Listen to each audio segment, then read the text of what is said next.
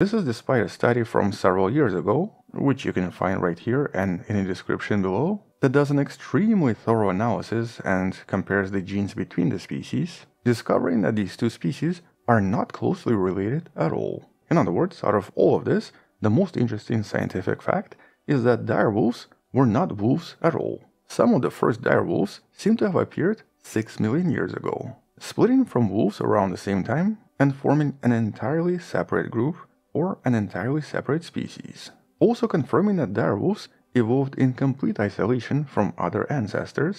and there is no evidence for any gene flow between direwolves, wolves, coyotes, or any other canines. In other words, comparing a grey wolf to a direwolf is about the same as comparing a human and a chimp. In terms of lineage timeline, this would be very similar which means that direwolves were an entirely different species, possibly related to African jackal, which kind of looks like this.